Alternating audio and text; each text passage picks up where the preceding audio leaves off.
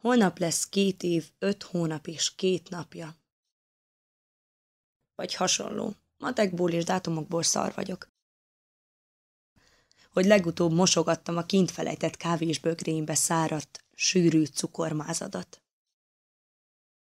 Azóta nincsen gusztusom levakarni, sem felönteni és elkeverni, vagy mást belefőzni. Hogy feloldódj végre. Túl édes és ragadós ez a massza.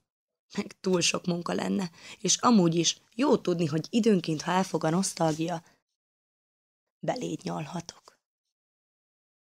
A keserű kávéíznek már nyoma sincsen. Csak cukor meg valami halvány, de mégis meghatározó karakter. Ennyi vagy nekem. És így maradsz. Talán ennyi voltál mindig. Túlcukrozott remény egy gyenge főzetben.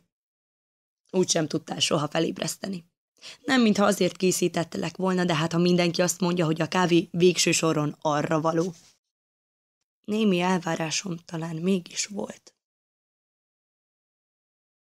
Persze új bögrém is volt már azóta. Valamiből kell inni, ha a régi mosatlan.